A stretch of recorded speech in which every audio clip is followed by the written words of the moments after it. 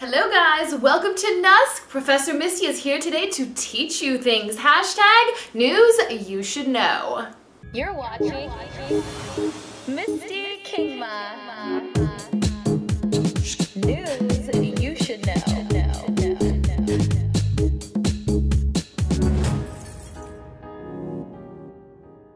First, I'm revealing to the world what Adele and Lindsay Lohan have in common.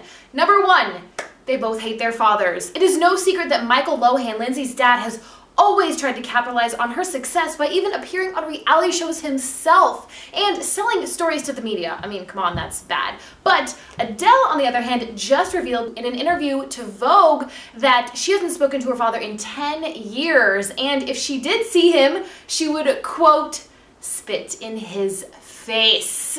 She said that he recently sold a story to Sun magazine in London saying that her relationship problems that she sings about in her songs that we all love is due to him because he was absent as a father. Giving himself credit for Adele's awesome songs, she is a not having that. She actually went ballistic when she found out. Number two, Adele and Lindsay both made awesome songs about rumors.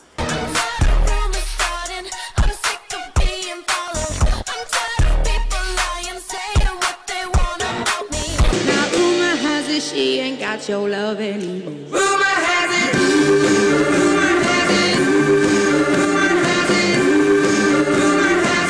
They're totally destined to be best friends, right? Now, in the realm of things that you're going to be hearing about whether you like it or not, there's a new social networking site in town called Pinterest, and if you haven't heard of it yet, then I'm sort of surprised. People are calling it crack for women. There's a lot of buzz happening right now for Pinterest, and what you're gonna start seeing next to those Facebook like buttons on websites is a repin icon asking if you want to repin stuff to your Pinterest profile. Now how Pinterest works, it's basically like a digital bulletin board where you can pin your favorite photos to different bulletin boards on your page.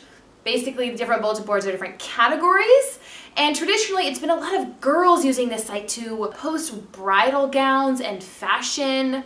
But okay, Star Wars geeks are now getting on board. There's now political breaking news that's happening on Pinterest, and even car freaks are posting their favorite cars on Pinterest. So anyone can do it. And as of January 2012, they had 11 million accounts open. So that's actually pretty big, I think. I've been on Pinterest for a while because one of my friends told me about it like last year and I actually really like the site. I love looking at photos and the quality is good. It's definitely like a higher caliber social networking site. I feel like it's for young professionals. Those 25 to 35 year olds are just loving Pinterest. And it's highly addictive, I swear. Last, in sad economy news, the Kodak Theater is taking their name off the iconic theater. It is currently home to Iris, which is a Cirque du Soleil show that was made just for the Kodak Theater. Now, the theater is not going away. It's just gonna have a different name, but we don't know whose name that is. And also, you might have heard of the Kodak Theater because every year the Oscars are there, which is probably the biggest event in Hollywood every year. I mean, they call it Hollywood's prom. So we don't know what name's gonna be on it yet. Maybe Facebook? But basically, they can't afford their $74 million contract anymore because Kodak, the film company, has filed for bankruptcy. Again, really sad. But I guess we'll have to wait and see whose name takes over. By the way, don't forget to watch the Oscars this Sunday, February 26th on ABC. Professor Misty signing off for now. See you guys next time. Bye.